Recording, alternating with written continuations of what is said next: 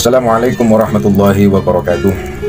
Faya ayuhal muslimin Faya ayuhal nahdiyin wal nahdiyat Rahimahullah Terhadap semua santri Nahdlatul Ulama Dari Sabang sampai Maroke Al-Fakir ingin menyampaikan satu hal Yang berkaitan dengan Satu dua oknum Yang membahas tentang masalah Nasab Aulia Utis'ah yakni Wali Songo. Di mana ketika membahas nasab Wali Songo, dua oknum ini membawa-bawa alma mater satu lembaga, satu pesantren yaitu pesantren Sidogiri.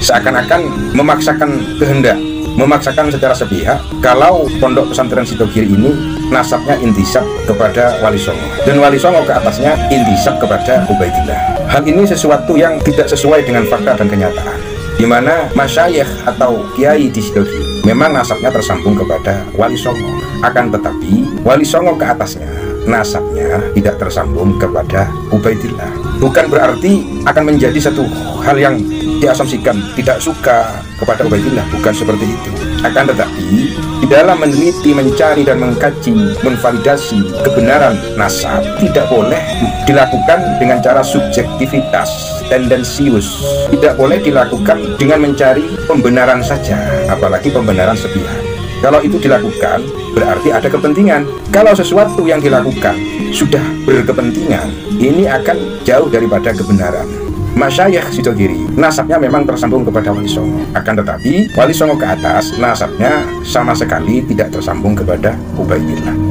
Penelitian nasab keluarga Sidogiri ini dilakukan kurang lebih dalam waktu lima tahun. Melakukan mukobalah, melakukan komparasi data, manuskrip, melakukan kajian ilmiah yang sehingga 2018 sampai 2019 nasab Masyayikh Sidogiri ini sudah mendapatkan syahadah syahadah dari mana? syahadah dari Ahlul Bilad. Di mana leluhur Masyayikh Sidogiri ini berasal yaitu syahadah daripada Nakobah Maruku itu yang pertama. Yang kedua syahadah dari Irak. Kemudian mendapatkan syahadah dari Damaskus. Mendapatkan syahadah dari Turki, mendapatkan syahadah dari Yordan. Dan sebelum para nakib Nakoba Internasional ini memberikan syahadah kepada Masyayikh Sidogiri, sebelumnya dilakukan pentahkikan.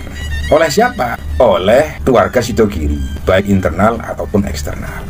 Dan pada waktu itu yang melakukan pentahkikan adalah salah satunya Kiai Nur Hasan bin Ghazi, kemudian Kiai Fuad bin Nur Hasan, kemudian Kiai Nawawi bin Abdul. Beliau-beliau itu yang melakukan pentahkikan. Yang kedua, di dalam proses pentahkikan, kemudian pentashehan nasab warga Sidogiri, prosesnya itu hampir satu tahun dalam memverifikasi, menvalidasi.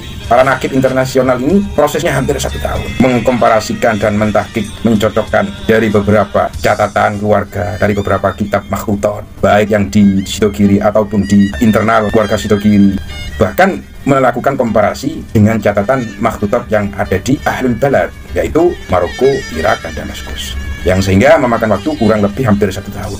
Intihul ghayahnya para nakib, nakobah, ulama Ahlul Nasabah yang dari Maroko, yang dari Irak, yang dari Turki ini melakukan kunjungan silaturahmi kepada pesantren Sidogiri yang sehingga para nakobah ulama ahlu nasabah internasional ini secara mutlak memberikan syahadah kepada masyayikh Sidogiri sampai sekarang syahadah daripada nakobah-nakobah internasional ini bisa dilihat, bisa dibaca ketika kita melakukan silaturahmi atau sowan kepada masyayikh Sidogiri dikarenakan syahadah nasab masyayikh Sidogiri ini diletakkan di ruang tamu kurang lebih seperti itu.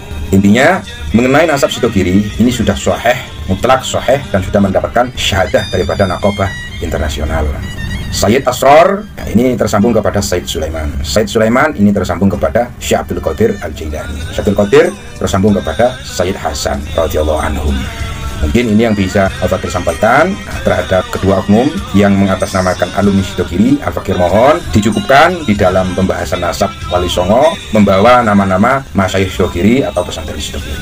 Wallahul muwaffiq ila qomit Wassalamualaikum warahmatullahi wabarakatuh.